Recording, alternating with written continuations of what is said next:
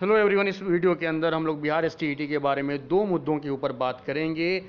कुछ लोगों ने ये कन्फ्यूज़न फैला रखा है कि नोटिफिकेशन जब जारी हुआ था, जिस साल में जारी हुआ था, उसके बाद का भी अगर कोई पास आउट कैंडिडेट है तो वो भी वैलिड है, उसकी भी जॉब हो जाएगी। मतलब 2020 2021 में भी अगर कोई पास आउट हो रहा है तो वो भी जॉब ले सकता है।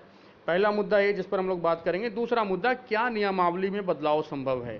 टीचर रिक्रूटमेंट का जो अपना सेट ऑफ़ रूल है, जो नियमावली है क्या उसमें कोई भी बदलाव करवा सकता है? क्या एक ग्रुप ऑफ़ कैंडिडेट वहाँ पर जाएँ ऑफ़िस में, और वहाँ पर जाकर के अपना एप्लीकेशन देखिए बदलाव मुमकिन है, क्योंकि ये वाली बात भी फैलाई गई है। तो इन दोनों मुद्दों पर बात होगी, और जो तथ्य हैं, जो प्रमाण हैं, उस बेसिस पर सारी बातें होंगी। तो पहला मुद्दा तो क्या नोटिफिकेशन के बाद का सर्टिफिकेट चलेगा? इसके लिए जो रेफरेंस लिया गया, जिन लोगों ने भी इस बात को समझाया, वो 2012 का लिया गया।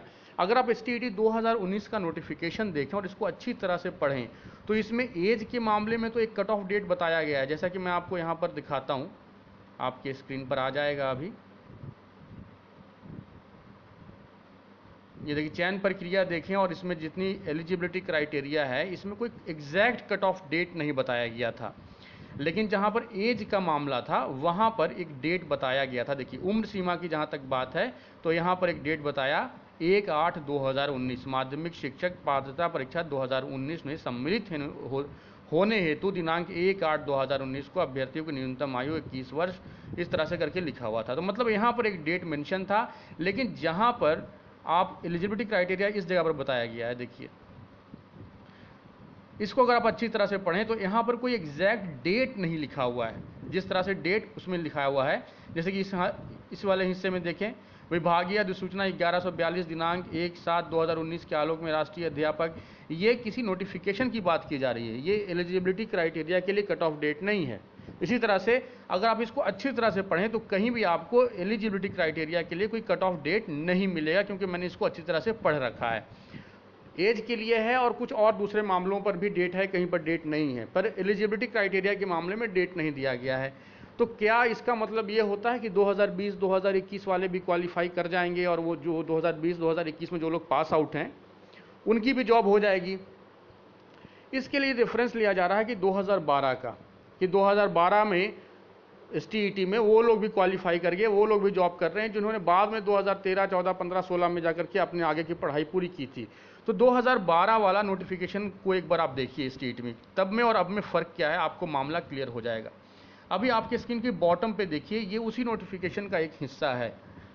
यहाँ पर क्या लिखा हुआ देखिए for the candidates of Bihar graduation in any discipline और it's equivalent with minimum 50 percent marks but the candidate must pass two year of diploma examination in education within five years after appointment मतलब जो D का जो course है, वो पाँच साल के अंदर, एक बार जॉब लग गई, उसके पाँच साल के अंदर पास करने के लिए कहा गया।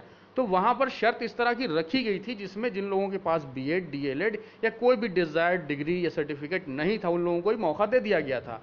2012 का एग्जामिनेशन और 2019 के एग्जामिनेशन में ये फ़र्क है। 2019 में किसी को ये नहीं बोला गया कि आप अभी अप्लाई कर दो और दो तीन साल के बाद आप बीएड कर लेना।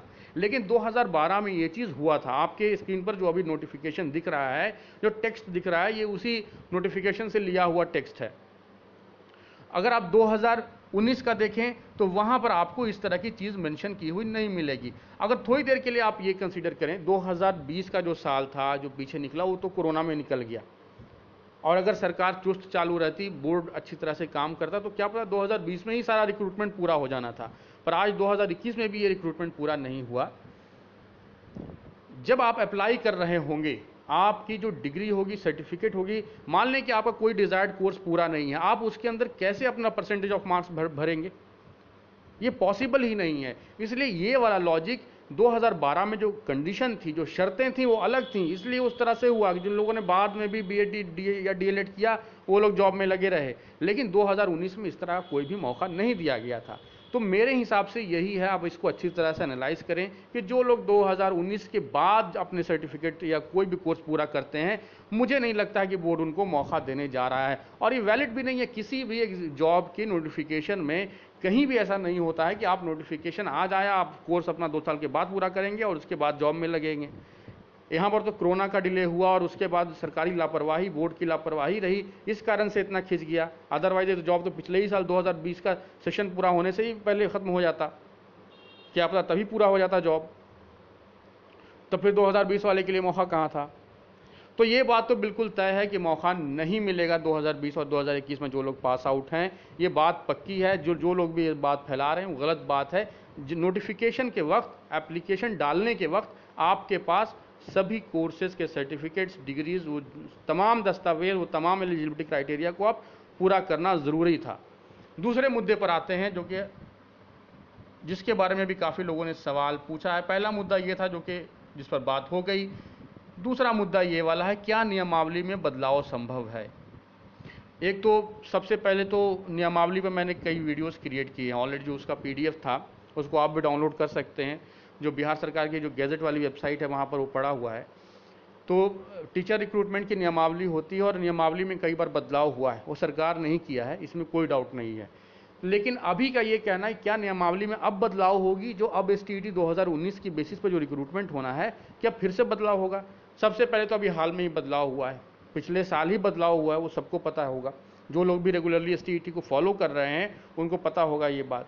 और ये जो बात है कि कुछ लोग मिलकर के सचिवालय जाएँ और वहाँ जाकर के नियमावली में कुछ हेर फेर करवा लें, ये पॉसिबल नहीं है। हर कोई अपनी सुविधा अनुसार चलता है। आज के टाइम पर एसटीटी कोर्ट केसेस देखें, इतने कोर्ट केसेस का मेला लगा हुआ है और कोर्ट केसेस क्यों हो रहे हैं? क्योंकि हर कोई अपनी सुविधा अनुसार चीज़ों को मोड़ना चाह रहा है। चाहे किसी की मांग जायज़ हो या नाजायज़ हो, सही हो या गलत हो, एक अलग मुद्दा है। कोर्ट केस सही है गलत है, वो अलग मुद्दा है। लेकिन मकसद तो सबका एक ही है कि हर कोई अपनी सुविधा अनुसार चीज़ों को मोड़ना चाहता है। और अगर नियमावली में बदलाव करना इतना आसान हो गया कि एक ग्रुप ऑफ़ कैंडिडेट वहाँ पर इंटर कर गया ऑफ़िस में और उसने जाकर के एप्लीकेशन देकर के नियमावली में बदलाव कर दिया तो ऐसे तो हर कोई अपनी सुविधा अनुसार चलता रहेगा कि मेरा एस टी मार्क्स अच्छा नहीं है, हमारा एकेडमिक्स पे करो। जिसका एकेडमिक्स में मार्क्स कम रहेगा, वो बोलेगा एस के मार्क्स बेसिस पर करो। या किसी की अपनी मांग हो, किसी की अपनी मांग होगी तो इस तरह से करना मेरे ख्याल में चीज़ पॉसिबल नहीं है। जो पहले तो सरकार और बोर्ड से ही अपनी गलतियाँ कुछ हुई हैं, उन लोगों ने ही जिस तरह से नोटिफिकेशन में कुछ निकाला नियमावली में कुछ और लिखा, उनके तरफ़ से ही मिस्टेक हुआ है। और ये दिखाता है कि जो सरकारी ऑफिसर क्योंकि नेता तो बनाते नहीं हैं नोटिफिकेशन ये जो गैजेट वगैरह है, ये जो सारे के सारे जो ब्यूरोक्रेट्स हैं, वही लोग देखते हैं। नेताओं को इतना नॉलेज भी नहीं है उनका काम सिर्फ़ सिग्नेचर करना है। तो कहीं ना कहीं लापरवाही जो ब्यूरोक्रेसी वाला जो स्टेज है, वहाँ पर भी होता है। जो सरकारी अफसर हैं, वो भी लापरवाही कर रहे हैं, तभी इस तरह का कन्फ्यूज़न क्रिएट हो रहा है। लेकिन ये कहना कि कोई भी जाएगा सचिवालय और बदलाव करवा लेगा, ये प्रैक्टिकल नहीं है, क्योंकि हर, ऐसा अगर होने लगा तो हर कोई अपनी सुविधा सुविधा अनुसार बातों को मोड़ेगा और हर कोई अपनी सुविधा अनुसार चीज़ों को लेकर जाने की कोशिश करेगा। कोई सचिवालय जाकर के या मिनिस्टर के ऑफ़िस में जाकर के या बिहार बोर्ड के ऑफ़िस में जाकर के कभी रिज़ल्ट के लिए, कभी नियोजन के लिए प्रेशर बना सकता है। वो बिल्कुल बहुत लोग करते हैं, बहुत लोग जाते हैं, पर नियमावली में बदलाव करवाना नोटिफिकेशन में बदलाव करवाना, ये सब गलत बात है। ये प्रैक्टिकली ये चीज़ें पॉसिबल नहीं है। तो इन दोनों मुद्दों पर जो कि इस वीडियो में था ये दोनों ही मुद्दे जो कि आपके स्क्रीन पर आप दिख रहे हैं, क्या नोटिफिकेशन के बाद का सर्टिफिकेट चलेगा, उस पर भी मैंने बोल दिया जो बोलना था, और क्या नियमावली में बदलाव संभव है, इस पर भी मैंने बोल दिया। नोटिफिकेशन का के बाद का सर्टिफिकेट 2012 में क्यों चल गया था, वो भी मैंने आपको बताया। और नियमावली की जहाँ तक बात है तो वो भी मैंने अपनी तरफ़ से क्लैरिफाई किया। बाकी बहुत बड़े लेवल पर प्रोटेस्ट हो, कोई बहुत बड़ी मांग हो तो कहाँ नहीं जा सकता कब सरकार कौन सा रूल बदल दे। लेकिन 10, 15, 20, 25 लोगों को ले जा करके किसी तरह का बदलाव लाना ये पॉसिबल नहीं है। लोग अपनी जायज़ मांगों को लेकर के जैसे अभी बहुत सारे लोगों का नाम में कईयों का जेंडर में कईयों का कास्ट कैटेगरी में कईयों का मार्क्स में कई चीज़ें का हेर फेर हुआ है कई चीज़ों में त्रुटि है तो उसके लिए लोग बोर्ड को अप्रोच कर रहे हैं तो वहाँ पर एक वैलिड मांग है। और वो मांग लोग कर रहे हैं हो सकता है देर सवेरे बोर्ड उसको कंसिडर भी करेगा और उस केसेस उन केसेस के मामले में एक चीज़ बहुत है क्लियर कि बोर्ड ने एक नोटिस जारी किया था और ये बात कहा था कि रिज़ल्ट आने के बाद हम कोई बड़ा बदलाव नहीं करेंगे। मान लें अजय नाम के किसी लड़के ने एग्ज़ाम दिया, वो अपना नाम अब विजय करवाना चाहता है मतलब विजय से जॉब करवाना चाहता है और एग्ज़ाम अजय ने दिया है तो क्या बोर्ड इस तरह की चीज़ें एक्सेप्ट करेगा? किसी का कोई माइनर मिस्टेक हो, कोई एक आख लेटर जैसे विजय का जे की जगह पर जेड हो गया हो, है ना? किसी का कैटेगरी में कुछ हेर फेर हो गया हो तो कोई इस तरह की चीज़ों को दुरुस्त करवा सकता है छोटी मोटी मिस्टेक्स को, और बोर्ड उसको, वो भी बोर्ड के ऊपर है कि बोर्ड उसको एक्सेप्ट करेगा या नहीं करेगा। लेकिन बहुत बड़ा कोई बदलाव कर दे बोर्ड मुझे नहीं लगता है। छोटी मोटी बदलाव के लिए लोग अप्रोच कर रहे हैं और उम्मीद करते हैं कि बोर्ड जल्दी उनको रिस्पॉन्स दे और उसके लिए जो एडिटिंग है वो अलाउ करे। तो अभी के लिए बस इतनी ही बातें थी इन दो मुद्दों पर, जो कि काफ़ी लोगों ने इस पर पूछा था इन दोनों पर। मैंने आपको पुराना नोटिफिकेशन निकाल के भी आपको दिखा दिया कि सच्चाई क्या है। तो अभी के लिए इतना ही। आगे एस से जुड़ी हुई कोई खबर आई, कोई भी अपडेट आई तो आपको अपडेट करेंगे। अभी आप लोगों की निगाहें होनी चाहिए, जो कोर्ट की जो सुनवाई है चार पाँच तारीख को, छठे फ़ेज़ वाला। पहले उसका निपटना ज़रूरी है। अभी एस टी सेवन्थ फ़ेज़ में क्या होगा 2019 वाले में क्या होगा, ये बातें बात की। अभी छठा फ़ेज़ वाला पहले निपटे, उसके बाद इसका मामला होगा। तो अभी उस पर नज़र बना के रखेंगे। और जैसे ही वहाँ से कोर्ट से कुछ भी खबर आती है उस केस के बारे में, उस केस पर भी मैं जल्दी एक वीडियो क्रिएट करने की कोशिश करूँगा। तो वहाँ से कोई भी खबर निकल के आती है तो मैं जल्दी जल्दी आपको अपडेट करूँगा। अभी के लिए इतना ही। Thank you.